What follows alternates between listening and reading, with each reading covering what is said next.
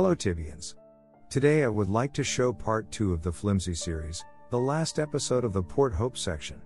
The difference with the first video is that I will be doing the full first floor, or the majority of it at least. Alright, let's get right into it. I do want to mention a few things first. I wasn't feeling well at the time of recording so you will see me struggling at some points. And this video is made during double experience event, so its experience rate is at 300%, but just half the numbers. With that being said, Flimsy Spawn in Port Hope is a good but crazy spawn. It's a weaker version of the Venore spawn in terms of survivability. While there's a lot more small corridors in Venore, you have more open space here.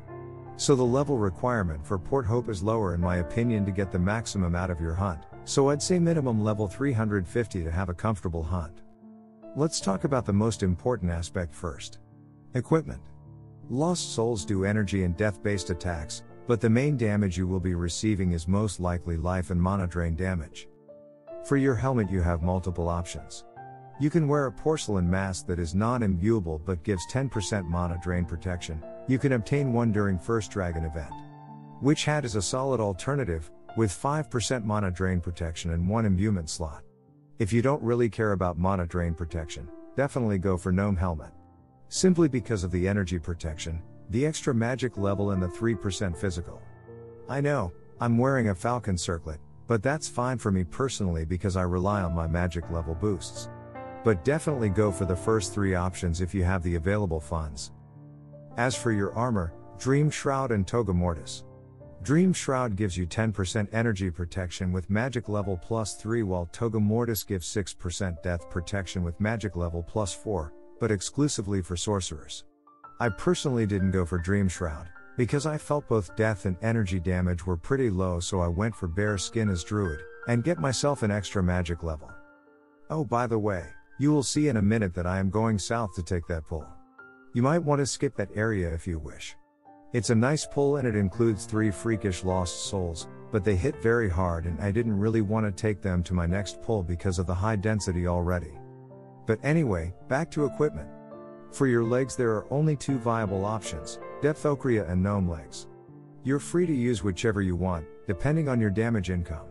If you play on a new server or just low on funds, Dwarven legs is a good alternative because of the 3% physical protection.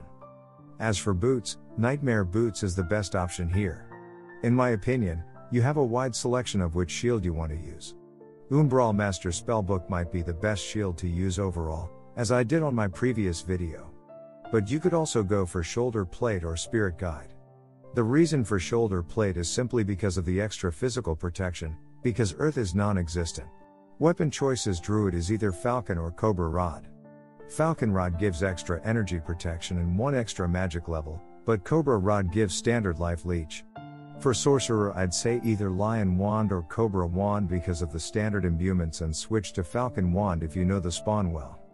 As for accessory, Starlight Vial and Garlic Necklace should be prior if you are wearing the same set as I am. For ring, I'd say Ring of Souls, which gives you 10% extra life protection or prismatic ring.